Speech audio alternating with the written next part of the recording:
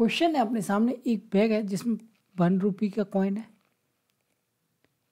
पचास पैसे का कॉइन है और पच्चीस पैसे का कॉइन है। ठीक है? बिल्कुल ठीक है, कोई दिक्कत नहीं। किस रेशो में? Five ratio six ratio eight की रेशो में। ठीक है, अगर अपन इन सब क्वांटिटी को रुपीज़ में निकालने की कोशिश करें तो कितने रुपए बन रहे हैं? तो आप बोलो सर, पाँच रुपए के, एक रुपए के अगर पाँच कॉइन है तो पाँच रुपए बन जाएँगे। ठीक है? पचास पैसे के अगर छः कॉइन है तो पाँच छः तीस, तीन रुपये बन जाएँगे। और पच्चीस पैसे के अगर आठ कॉइन है तो दो रुपये बन जाएँगे।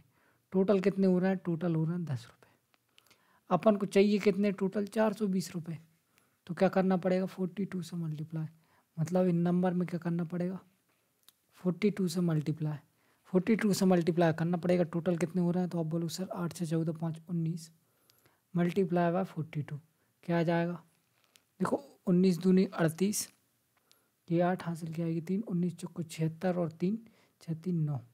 Seven ninety eight total number of coin है। कौन से ऑप्शन में दिख रहा है? पहले ऑप्शन में करेक्ट आंसर